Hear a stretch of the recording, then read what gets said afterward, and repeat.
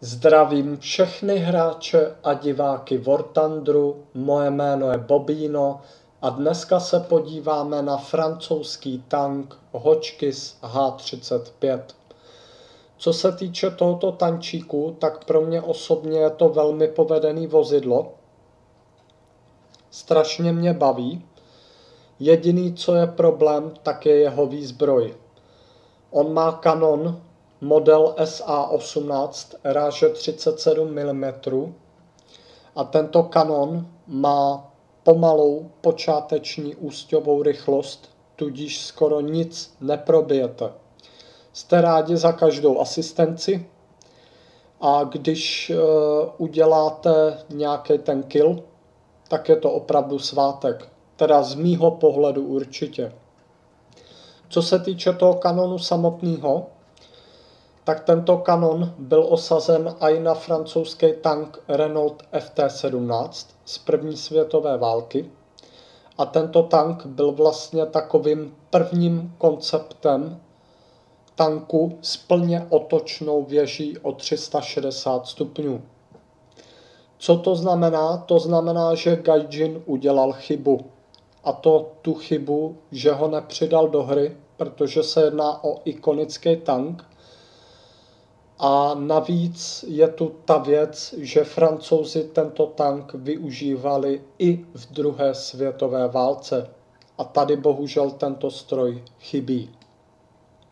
Co se týče ještě jedné věci, tak vám řeknu takovou menší zajímavost pro ty z vás, kteří se více podrobně zajímají o způsob výroby, pancéřování tanku a tak dále a tak dále, tak mnozí z vás asi slyšeli, že třeba takový ruský tank T-34, respektive jeho věž, tak uh, tento tank byl prvním strojem, který byl odlívaný do pískové formy. Není tomu tak. Takže pokud uslyšíte tento blud, vyloženě tento blud, od někoho, tak toho dotyčného člověka opravte, protože právě francouzské tanky byly prvními tanky, které byly dělané právě pomocí odlévání do pískové formy. A to konkrétně i tento tank Hočky z H35, a tento stroj je právě z roku 1935, takže o několik let předběhl právě T34. Já to vůbec nebudu zdržovat, vrhneme se přímo na ten záznam a já bych vás chtěl poprosit, abyste mi nenadávali, co vám to vůbec ukazuju za replay, protože ten replay je opravdu směšný. Jako dal jsem tam dva kily a jedno obsazení a jsem za to rád. Jo? Opravdu ten kanon je dobrý akorát na to, abyste odstraňovali rozpláclý mouchy na enemáckém pancíři. Nic jiného s tím pomalu dělat ani nemůžete. A to jsem měl ještě opravdu štěstí na stroje, že jsem prostě potkával eh, tankovou techniku, kterou můžu probít, takže víceméně opravdu jsem rád. Ale co vám mám vykládat, jako já mám na tenhle tank talisman, už ho mám dokonce i v ESu, takže já nic neřeším. Já ho mám vlastně ve fullu, ale rád si za něj zahraju, protože jsem sebevražedný maniak. Dělám prostě blbosti, hovadiny, omluvte mi ten výraz, pičovinky, No a tudíž prostě rád si zablbnu i s těmahle strojema, i když prostě ten stroj víceméně stojí za prd. Mám ho rád, designově se mi strašně líbí a opravdu, co se týče pojetí toho tanku, tak pancířování měl na opravdu dobré úrovni. Tam byl jediný problém opravdu ten kanon. A bohužel francouzi udělali tu chybu, že vlastně tank viděli jako stroj, který má být určený pro podporu pěchoty a ne jako stroj, který má být určen jako tank proti tanku. Bohužel francouzi prostě nepochopili tankový pojetí, pochopil ho především německý genius Heinz Guderian a bohužel stalo se, jak se stalo.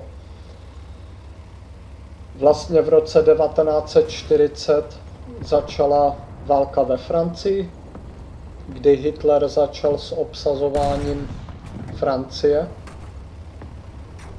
No a francouzům se právě tohle vymstilo. A to podotýkám, že měli možnost zastavit Hitlera, protože měli více tanků než Wehrmacht. A to dokonce se udává o více než trojnásobně.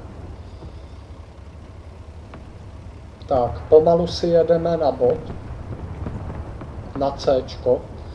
Můžete si jinak všimnout, že jak mám strop na motoru, budu říkat překryt motoru, tak tam mám vlastně bedinku Battle Passu a to je tuším z před, před minulýho Battle Passu, nevím jistě.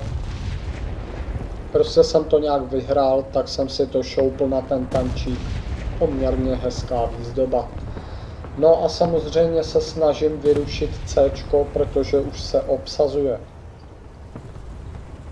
Mám to štěstí, že je tu italská plečka L3 lomeno 33 CC, což je takový vozidlo, který dokážete vypnout na ranu. Už si mě všiml, já si ho jenom doměřím, vystřelím, vyřadím ho a tudíž se uvolnilo C a já můžu obsazovat. Takže si obsadím. Opravdu jsou za ten kill rád, aspoň něco. Víceméně já už ho vlastně jakoby zkoumat nemusím ten tank, tím, že ho mám v SU, respektive jeho osádku. Nicméně aspoň nějaké peníze, že jo, aby to hodilo. A tuším, že na tuhle bitvu jsem měl 30% booster na peníze, takže to něco hodilo. Nemůžu říct, že ne.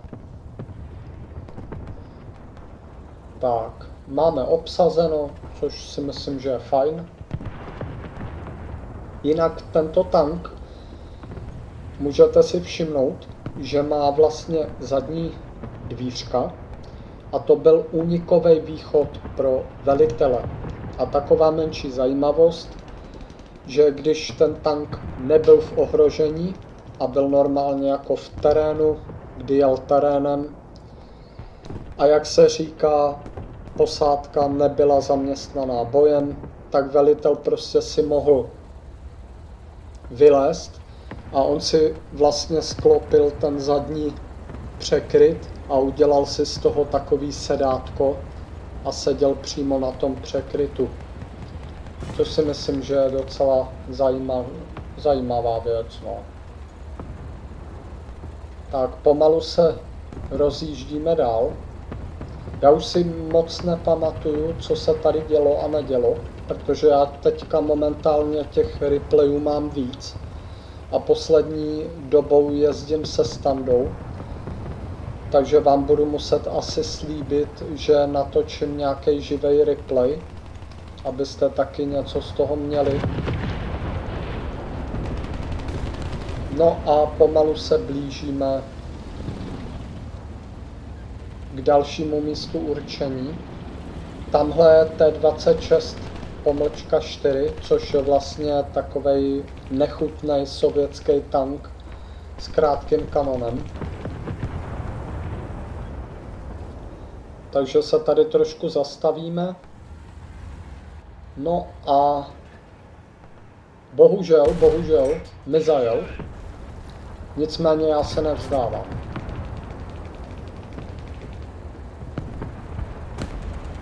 Pojedu pomalu za ním.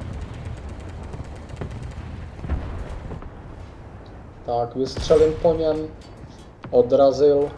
Takže jako jo, budíš. zase odrazil.